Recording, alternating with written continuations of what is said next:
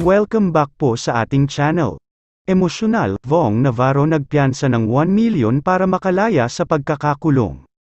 Masayang masaya ang asawa ni Vong Navarro na si Tanya Bautista matapos payagang makapagpiyansa ang TV host comedian para sa pansamantala nitong kalayaan.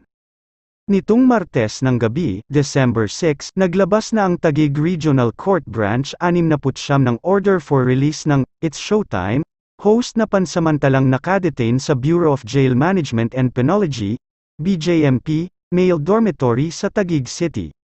Base sa order of release ni Vong, you are hereby directed to release from custody accused Ferdinand Vong Hipolito Navarro for having filed the necessary cash bond in the amount of 1 million pesos, PHP 1 milyon, under official receipt number 9022573 dated December 6, 2022, which cash bond is approved by this court for his provisional liberty.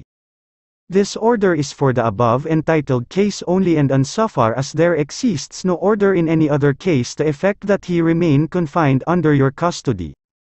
Makikita rin sa naturang order of release ang mga petsa ng susunod na pagdinig sa kanyang kaso.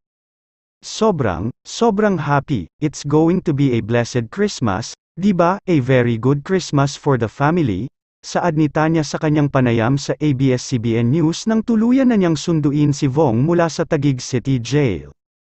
Ayon pa sa ulat ng ABS-CBN News, kapansin-pansin raw ang pagpayat ng aktor at maririnig rin daw ang pag-cheer ng iba pang inmates ng Vong Navarro, noong pansamantala itong palayain.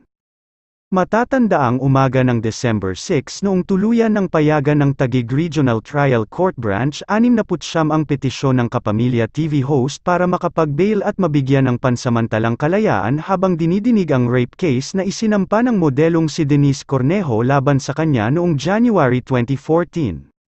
Matatandaang noong ikalabinsyam ng Setyembre nang pansamantalang ipiit ito sa National Bureau of Investigation Detention Center at noong November 21 nang ilipat ito sa Taguig City Jail labis naman ang tuwa ng kanyang asawang si Tanya Bautista dahil kahit papano ay dininag ng Diyos ang kanyang panalangin na makasama ni Vong ang kanyang pamilya sa araw ng Pasko.